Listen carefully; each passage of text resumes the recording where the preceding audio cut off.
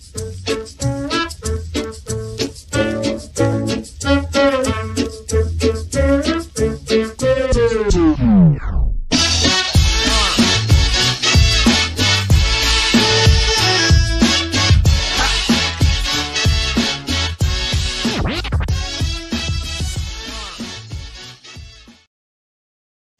How Mr. Sullivan eats a Reese's peanut butter cup. Oh, since 1932, it's the same thing. Nibble, nibble, nibble. Oh, such a nibbler.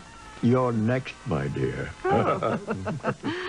There's no wrong way to eat a Reese's.